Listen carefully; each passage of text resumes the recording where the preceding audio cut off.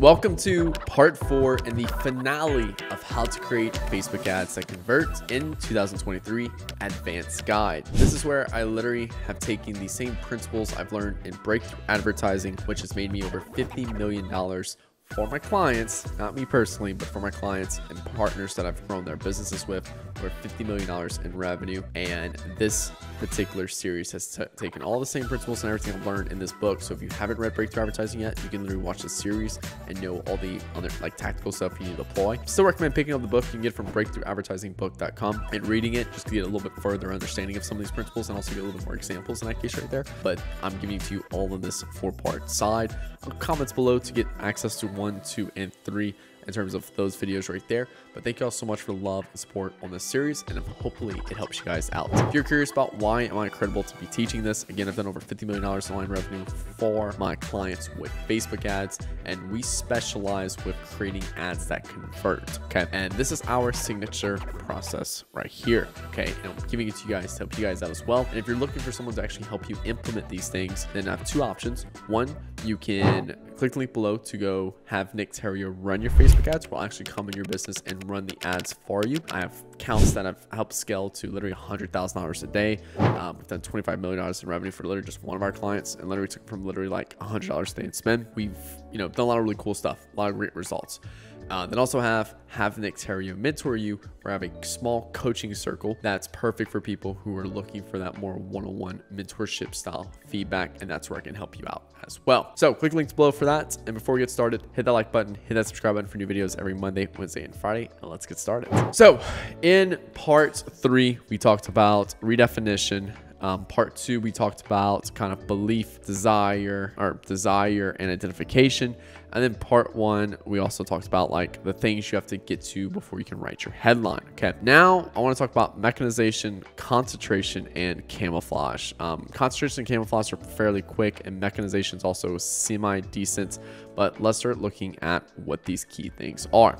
So, mechanization goes further back to how your product works. What is the mechanism you use to get me the results I want? Okay, well, let me answer this further. You must answer these three questions or your ad will fail. That is more information, images, desire, prospect is telling me more about your product. Proof, prospect wants it, but wants to know it's true. Proof your, you know, your product works in that case. And then mechanism is they want the end result, but they want to know how it works. Okay.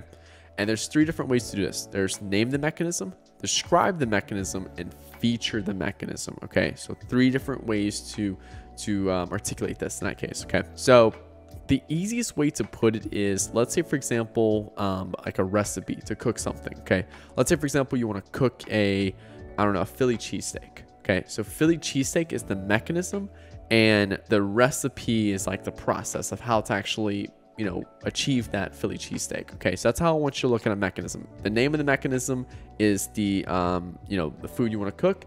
And then to articulate that to people, you just need to showcase how that mechanism works, showcase the recipe, what steps you have to do. Okay, so we'll go over name the mechanism. So this is name the mechanism. This is where you can just name it and then go on to beat the competitors with price and features. Okay, so let's say, for example, everyone is doing broad targeting, and that's the new mechanism that everyone is chasing with Facebook ads. So when I'm pitching a competitor or pitching a, a, a client on working with us, and I already know that everyone's doing broad targeting, and I'm doing broad targeting as well. I'm just going to say that we do, we do broad targeting. I do not need to explain it because they already know what it what it is because they've already done it or they've also done other stuff like that. And then I'm going to beat the competitors with better features and a better price. Okay.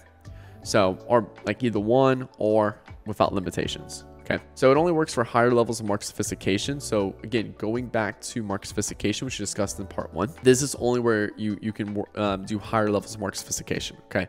This is already actively seeing a mechanism deployed across the market. Everyone's doing broad targeting. So I'm just going to say we do broad targeting. I do not need to describe it or show how it works. Okay. I can just simply name it. That's something we do and then you know, I can either remove limitations from it or um, increase the features of it for whatever example. Okay. The key thing here to ask is does my prospect understand this mechanism already from other competitors' ads? Okay. So look at other competitors' ads, do deeper research to see like, like for example, if I'm, if I'm pitching a, a agency client, um, do deeper understanding. Have they received uh, pitches from other like agencies also doing broad targeting in that case right there. Understanding all that is going to allow me to decide, do I need to name the mechanism or do I need to describe it or feature it? Okay. Now, stage two, this is where the prospect does not understand the mechanism. Okay. This is where I need to describe the mechanism to the prospect. Okay. You build a strong, quick promise, then you follow up the reason why you can deliver that promise. So basically, in this sense right here, is that, hey, I'm going to help you you know, create Facebook. I'm gonna, I'm gonna help you build Facebook ads that convert. I'm helping you. I'm giving you a promise. Then I can follow up the reason why you can deliver that promise. I can help you build Facebook ads that convert because I leverage psychology-based creatives. Here's the problem. Here's how we do it. We, you know, and then I basically say, hey, we do desire, market awareness, market sophistication, understanding all this allows us to position the ad. Then we go through, you know, um, identification, belief, mechanization, desire, like all that good stuff right there to make sure that we, we put the right content in the ad after we have it positioned correctly to be able to help build ads that convert. Okay, that's describe the mechanism exactly like that, exactly how I did that. Now, um, go back to this too, is that the prospect does not understand the mechanism. Okay, so you have to assume that the prospect has never heard your mechanism yet. Okay. So that's a big thing there. Now, this is more the difference between describe the mechanism and feature mechanism is, is describe the mechanism is a lower stage of marketing, uh, market sophistication, whereas feature mechanism is a new chance for your prospect to satisfy their desire when they failed at others, a new glimpse of hope. Okay. So let's say, for example, you, you know, they've done macro counting, they've done, um, I don't know, they've done CrossFit, like different types of exercises and stuff like that. Then all of a sudden, the new mechanism comes out. And the key thing here is that the new mechanism comes out as keto. And here's what keto is. And the whole ad is around keto, the new mechanism. Okay. So the difference between describe the mechanism and feature the mechanism is that you have an ad that starts off with like maybe problem aware solution aware or unaware and it goes through everything and this is just part of the ad for describe the mechanism. Whereas feature the mechanism is the main focus of the ad. The whole ad is around the mechanism. We're not talking anymore about you know are you overweight? Are you looking to get ripped? Stuff like that. No we're just saying keto, new diet that just hit the market that is changing the lives of others. Here's how keto works. Whereas describe the mechanism, we have a full ad that starts off with do you feel tired when you wake up in the morning? You know, is it hard for you to go to sleep? Do you feel groggy throughout the day?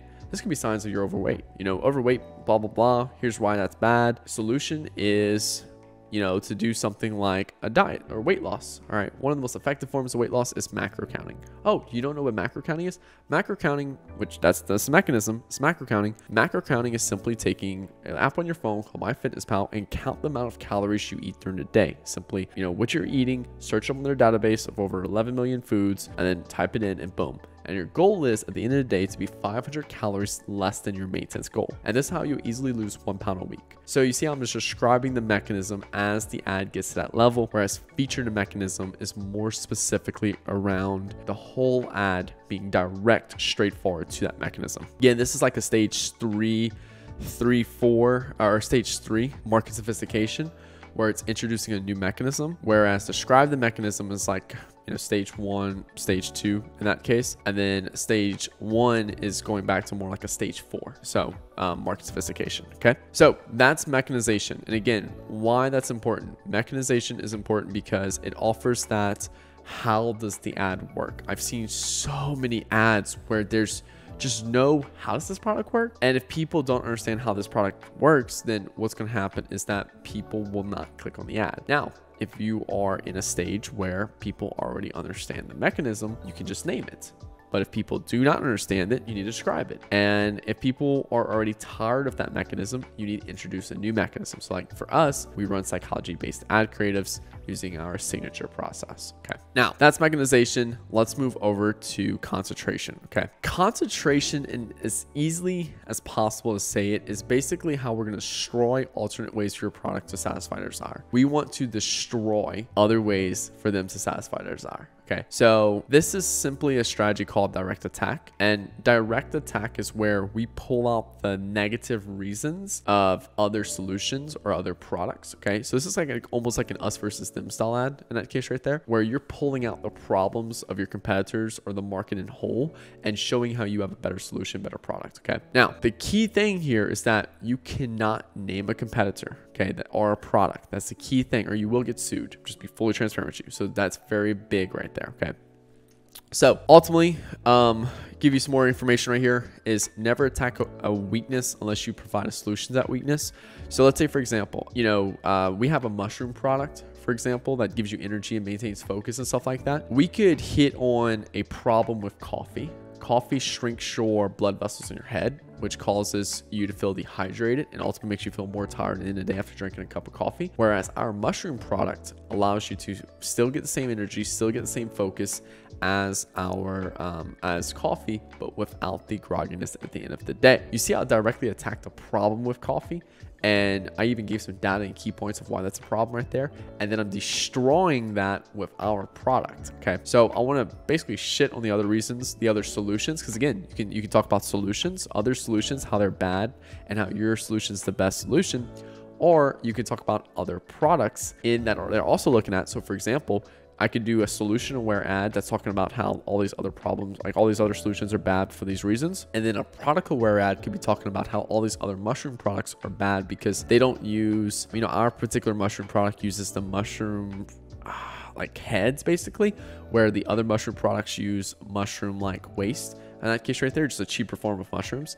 We use a higher quality form of mushrooms, which is ultimately gives us more pure extract and gives you more value for your price. So the goal here is to simply look at weaknesses across your market, whether it's solution aware or product aware, and hit those particular problems across your market, which ultimately gives you a better selling ad right there. Okay. Again, direct attack. Now, the key thing here is you have to have a solution for that weakness. If you do not have a solution for that weakness, then you can't do it because then, it, then you're just going to look like an ass in that case right there. And people are going to laugh at you. And I don't want people laughing at y'all. I want you guys making results. I want you guys crushing out there. Now, Last strategy is called camouflage. Okay. Camouflage is simply the act of disguising your ad to borrow believability. Okay. Now, I'm going to give a few different ways. So, camouflage, they talk about it in, in breakthrough advertising in one way but I'm also going to give it in a more 2023 way, okay? Because breakthrough advertising was wrote in the 1960s, but these ad psychology principles has been around forever because it's about psychology, it's about consumer psychology. It's why these, these principles work so well. So the key thing with camouflage is you're disguising your ad to borrow believability, okay? So let's look at different ways we can disguise our ad. First off, you could do a whitelisting thing where you basically whitelist um, like someone else's Facebook page on your, your ad account to where you run ads through their Facebook page. Uh, we were working with this sunglass brand. Can't really name them, but they've worked with some celebrities. Okay, um, they're actually getting sued because they're like going through like bankruptcy and shit like that. I don't know, crazy shit. But long story short, this particular sunglass brand um, we were able to cut acquisition costs from like $400 all the way down to like $200 and at scale by simply using a, another celebrity's Instagram account and running all of their ads for a celebrity. This substantially increased the revenue for the business because we cut acquisition down by half. They were already profitable at a $400 acquisition with a $1,200 AOV, but now we cut it down to a $200 acquisition cost with a $1,200 AOV, and we were able to spend significantly more money. We borrowed believability by running Facebook ads through someone else's Facebook ad account. So now it became the celebrity selling people these particular glasses not us selling these glasses okay so that's how it's one way how we borrow believability another way is you know the like organic content for example like when i create content on youtube i have to trim it up a different way when i upload it to twitter because i want it to fit more native with twitter. So just how you respect the medians of which you're advertising on and how you're positioning your content needs to filter with the median you're advertising on. Okay. So that's just a few different examples with camouflage right there. And that's ultimately, honestly, that's it. That's literally the whole book of breakthrough advertising. And, and we deploy all of these principles. Again, this was more around the, uh, what you call it, the enhancing techniques. So, you know, building the rest of the ad, we talk about belief, desire, identification. We talked about getting all the stuff you need to build the headline. We saw we talked about building the headline. We talked about what you need to put in your ad to build belief, desire, and identity. And then we talked about enhancing techniques of how to further improve, you know, the ad itself and make it more efficient. So this is pretty much everything. Um, again, this is everything that we deploy on our accounts. This is how we've literally been able to help brands like this one brand we came on board with this. The most money they ever spent on Facebook ads was $450,000. And within one year, we took that brand from $1,000 per day in spend to 15K a day in spend at scale. And we helped them do 400 or we did $4.5 million in spend. So we 10x their Facebook ad spend in 2022. And we helped them do $25 million in revenue uh, for their business. So um, we've been able to do some insane things by applying this. Um, this can be applied to lead generation, e-com, app installs. It's all marketing fundamentals, which if you understand marketing fundamentals, you realize that that's the ultimate thing. And the only thing that changes is the offer. Different offer, which for me, an offer is a product. I'm not talking about 10% off things like that. I'm talking about the product itself. All we're doing is swapping out different products, services, things like that, but we're still applying these same marketing fundamentals from there. Now, you might be wondering, Nick, how do I actually run these, like how I actually deploy like this on Facebook side? We do one campaign, broad targeting, with um, dynamic creative testing. So I definitely recommend 10x Performance with DCTs. Um, it's a video uploaded recently where I talk about a lot of um, just like how to actually run and create tests inside of like a Facebook ad campaign. I highly recommend going watch this video because I also link you to two other videos I want you to watch. And in that video right there, it's gonna give you a very strong process of which how we create test and our Facebook ads within the ad account from a tactical side. This is more of the fundamental side, the higher level things that's going to make you more money. But, uh, you know, I taught you how to do, you know, basically drafting to draft up or, or like an architect. I just taught you how to be an architect to, to architect a huge ass house and like the finest thing you'll ever build. But now this video is going to show you how to actually use the hammer. Okay. And that's the problem. A lot of people confused with how to use the hammer. Just because you know how to use a hammer does not make you an architect. Okay, an architect knows how to actually design, articulate a house to meet all these codes and things like that. So that's a big key thing here that a lot of people still do not understand, which is pain in the ass. But I'm helping you guys out as much as I can. So I really hope y'all enjoyed this series. Make sure y'all drop a like below, drop a comment below as well. I'll, I'll link the parts one, two, and three in case you missed any. And uh, I really hope you guys enjoyed the series. Is something that I've been working on for months, honestly, because like I've been deploying this whole slide deck to my whole team, make sure everyone understood it, and also make sure I can understand from perspective that we actually can actually like I can actually talk about it to give you guys actual experience on my side of applying it. Um, it's made my clients a lot of money, and uh, I don't know, I'm, I'm, just happy. I'm very happy for uh, the series, happy for you guys because y'all gonna crush it this year. And uh, make sure you hit the like button, hit that subscribe button for new videos every Monday, Wednesday, Friday. If you're looking for someone to help implement this into your business, then click the link below for have Nick Theriot run your ads. If you're looking for someone to help you coach you and mentor you on how to implement this into your business, then click the link below, have Nick Theriot mentor you. So thank you all for watching. My name is Nick Theriot. I'll talk to you guys later. Peace out.